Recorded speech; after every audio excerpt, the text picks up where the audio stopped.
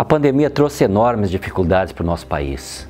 E uma questão que nos chama atenção e que nos preocupa muito é a violência contra as mulheres. Aqui no Rio Grande do Sul, por exemplo, o ano passado, 2020 foi o ano, nos últimos 10 anos, que mais teve estupros. Foram quase 2 mil estupros em um ano. E é muito mais difícil uma mulher sair da situação de violência se não houver um aparato público do Estado, da sociedade, com políticas públicas constituindo uma rede de solidariedade para a mulher sair do ciclo de violência.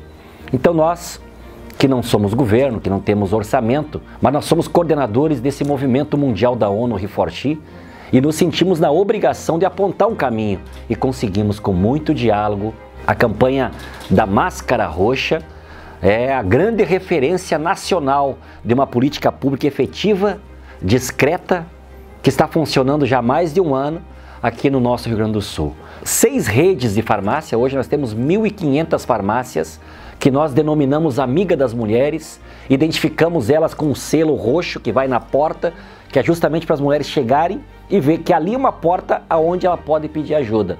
Fizemos um treinamento online, os atendentes das farmácias, para que quando uma mulher chegar e pedir a máscara roxa, que é a senha, ela saber que essa mulher está precisando de atenção e de ajuda. Porque a mulher muitas vezes não faz denúncia também com medo de ser vítima da sociedade do preconceito, da discriminação.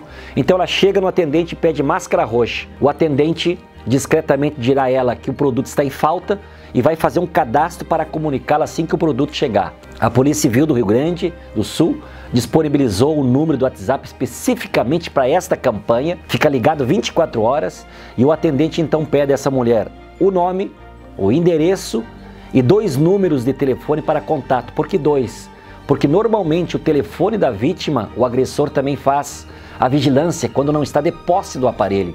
Então, o número de um conhecido, da mãe, do filho, de uma amiga é importante. A partir daí, a Polícia Civil aciona a rede constituída nessa campanha e entre as ajudas que pode pedir, se for necessário, é acionar a Brigada Militar que está presente em todos os municípios do Rio Grande do Sul, se preciso for, vai na casa dessa mulher vítima tirar ela desta condição. Já teve várias denúncias de muitos municípios gaúchos, inclusive prisões em flagrante. Os agressores de mulheres, os machistas, eles precisam se sentir acuados, encurralados, e isso a gente faz com muita força e com muita unidade de contribuir com a diminuição da violência contra as mulheres. Apresentei um projeto e transformamos em lei. Aprovamos na Assembleia Legislativa do Rio Grande do Sul, sancionada pelo governador. Portanto, amigos e amigas, se no seu município não existe farmácias amiga das mulheres, ou se você é proprietário ou proprietária de uma farmácia e queira que ela seja